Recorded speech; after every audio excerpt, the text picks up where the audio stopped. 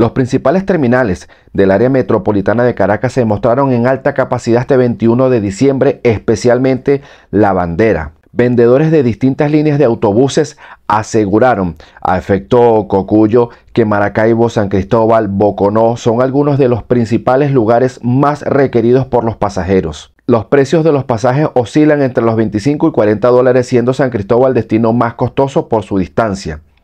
En los terminales privados de Rodovías y Aeroexpreso ejecutivos, ambos no contaban con muchas personas en los terminales, pero sí con muchas ventas.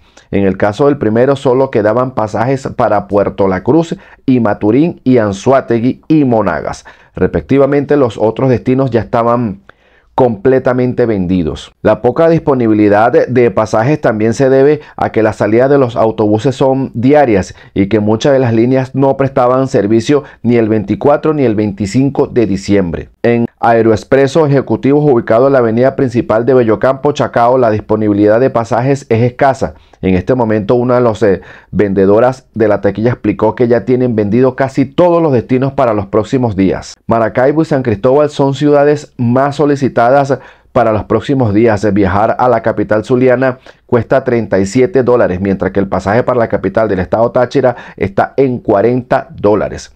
Acá la temporada alta inició el mismo primero de diciembre, explicó a efecto Cocuyo, uno de los trabajadores de la taquilla. En el caso de Rodovías no van a trabajar ni 24 ni 31, por ello muchas personas se han acercado en días recientes para asegurar su boleto en este terminal. Los pasajes más vendidos son Ciudad Bolívar y Maturín. En el terminal de pasajeros de la bandera hay salidas diarias hacia la mayoría de los destinos del país para viajar a Maracay y Valencia no es necesario comprar con antelación, pues las salidas son constantes. El precio del boleto para estas ciudades entre 5 y 6 dólares es el precio que tiene. Así que bueno, me gustaría que me dejen en sus comentarios qué opinan ustedes de esta fluencia gigantesca que está teniendo Venezuela en las vías terrestres, ya que la gente está viajando para el interior del país. Los leo.